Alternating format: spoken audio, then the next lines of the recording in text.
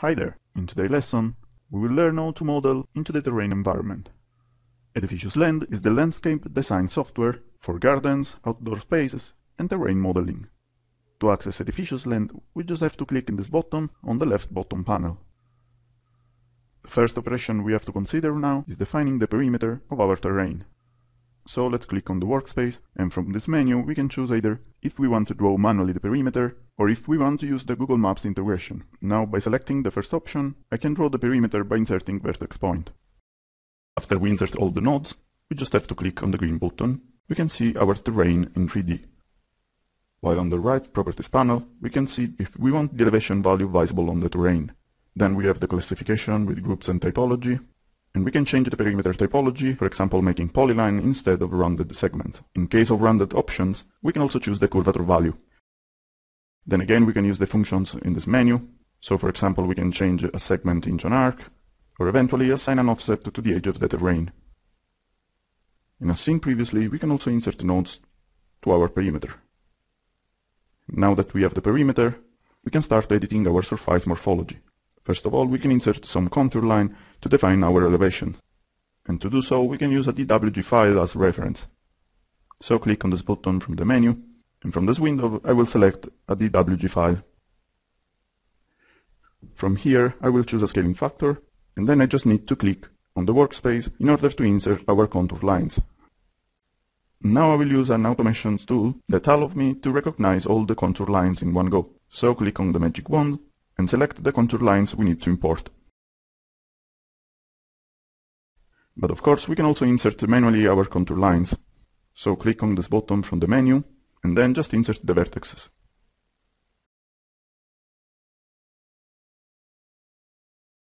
From each of these contour lines, we have the following properties on the right panel. Of course we have the elevation value that we can insert on the properties panel, or we can adjust it from the 3D view by moving vertically the green cone.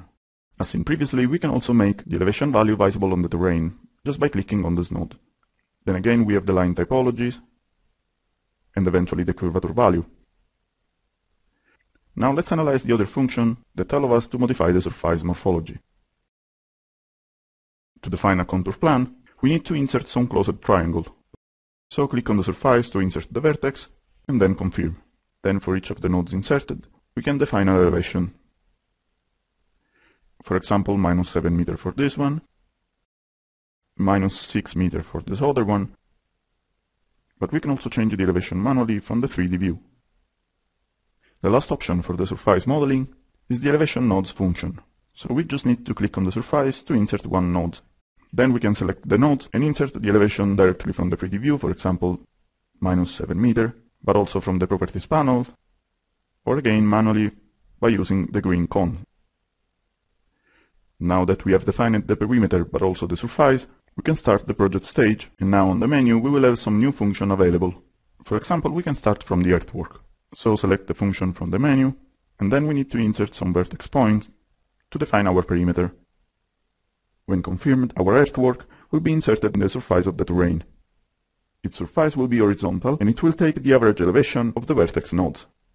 We can click on this button if we want to set the elevation of the nodes equal to the terrain in that point. Also for this surface, we can change the elevation in multiple ways. So for example, we can write minus 6 meters directly on the 3D view, but we can also insert the value from the properties panel, or we can use the green cone. Of course, by dealing with the earthwork, we can have an excavation, a fill, or with an inclined surface, we can also have both of them. And from here, in the geometry panel, we can have some useful informations, like for example the excavation and filling volumes. From the toolbar we will have access to other functions, like for example we can change this segment into an arc, or maybe add some nodes, or eventually an offset. Then we can add the escarpment to the perimeter. For example, in this case, I want to add a 2 meter escarpment to this earthwork. And this is the result in the 3D view. Also, this new perimeter can be manually modified. By default, the earthwork surface will be horizontal, but we can change these properties from the right panel. So for example, we can have a pitching line,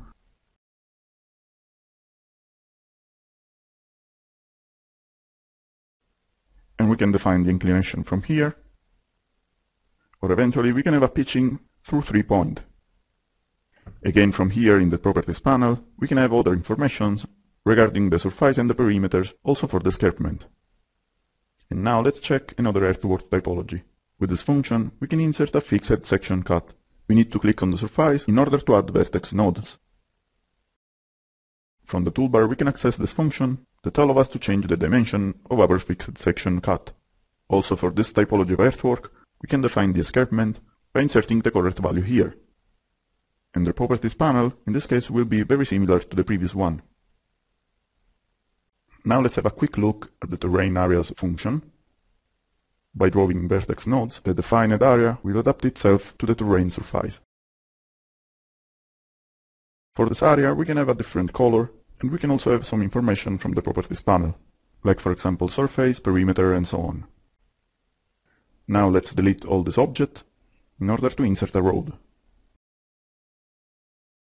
Also this object is defined by vertex node, and by default each of this node will take the average elevation of the terrain in that area. From the toolbar, we can see we have the same function as seen before, so for example we can uh, edit the perimeter, or we can also change the width of the road, for example inserting 4 meter and a half. Then we can add a 1 meter escarpment, and as you can see, it will adapt itself accordingly to the terrain surface. Then with these functions, we can add some solids to the side of the road which is useful in case we want to add a pedestrian path, for example.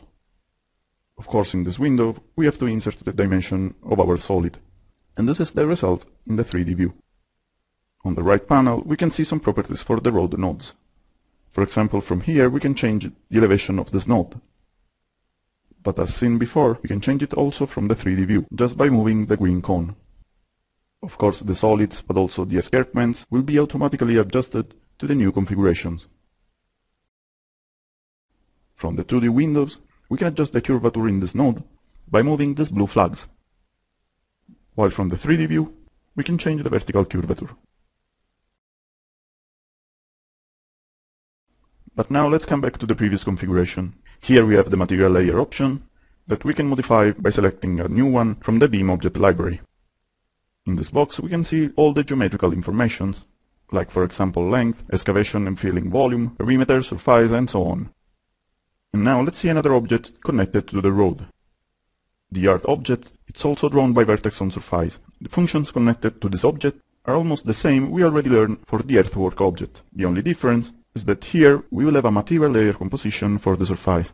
So for example we can access again the BIM object library and choose the same material layer composition of the road. Then we can choose a different elevation or having the yard nodes at the same elevation of the surface and eventually also for this object we can apply the escarpment function. Now let's have a look at the landscaping wall. This object is inserted as a polyline on the surface. As you can see by inserting the point, this object will follow the surface morphology. And now we can check the properties for each of the segment of this wall. So on the properties panel, we can change the elevation, the material layer composition and the thickness, and the geometry properties, like for example the height of the entire wall, how deep this wall should be contained under the surface. For example, in this case, can be 1 meter deep under the surface. We can change the shape of the upper and bottom profile, so for example having a slanted profile, but also an horizontal, or like in this case, a stepped profile.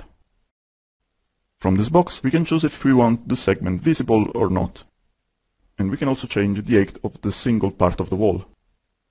Then from the toolbar, we can also choose if we want a railing or a solid connected to the upper side of this wall. So for example, by clicking here, I will have this railing with all its properties on the right panel. Or instead, I can add a wall cap by clicking on this button.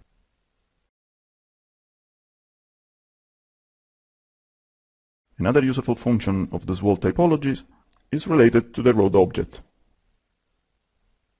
So I can insert this road, for example, then choose the landscaping wall from the menu and select this magic wand function. This option will recognize the side of the road and automatically insert a landscaping wall. Now let's insert this wall in order to learn another automatic function.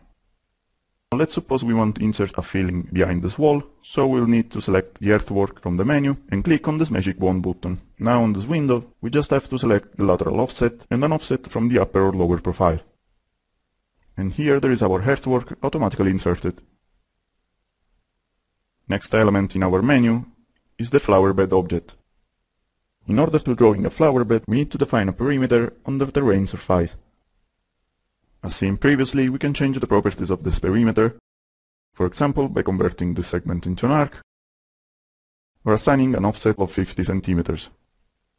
Now let's select the object from the 3D view, and we can change the height of each single segment. We can change the elevation for the internal surface, and we can use some of the functions that we used previously for the landscaping wall. So for example, we can insert a railing, or maybe a wall cap like in this case. Now let's have a look on another similar object, which is the swimming pool. So let's insert again a perimeter, and when confirmed, we can see our object completed. Now from the 3D view, we can select the water surface and change its elevation from the bottom. Then again we can insert a railing or a wall cap, and we can change the perimeter geometry from the toolbar. Now let's see how to insert some vegetation. So select the tree function from the menu, and then from the properties panel, we can access the BIM object library and choose which typology of vegetation we want to insert in our project. So for example, in the tree folder, I can choose a pine or maybe this tree. Then confirm and click on the surface. By grabbing the green cone, we can change the height of the tree, but as seen before, we can change this value also from the properties panel. Another function related to the vegetation is available by clicking this element on the menu. Now we can insert a polyline on the terrain surface, and all the vegetation will be inserted over this polyline. From the Properties panel, we can select up to three different vegetation typologies. For example, the first vegetation object can be this one, the second could be a lavender variety, and the third one could be a Acacia. Then we can change some properties like density, dimension, scattering and so on in order to have a more realistic representation. We can also apply the same function on surface instead of polyline. So we will insert a perimeter on the terrain surface. And again from the properties panel, we can select different options. So for example changing the density, different dimension and scattering as well.